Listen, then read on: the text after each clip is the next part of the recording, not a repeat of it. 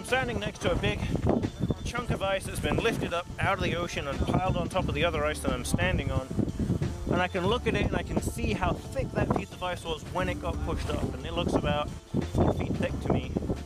Um, and because we know from looking at satellite data and I know from the ice around us that this was pushed up into this region pretty early in the year, like October, November. So for it to have been this thick in October or November tells me that this is at least last year's ice. So this ice is more than one year old. We call it second year or multi-year ice if, if, it's older than that. Um, and this is kind of what we're building the camp on. It's good, uh, thick, strong sea ice that helps uh, keep the camp.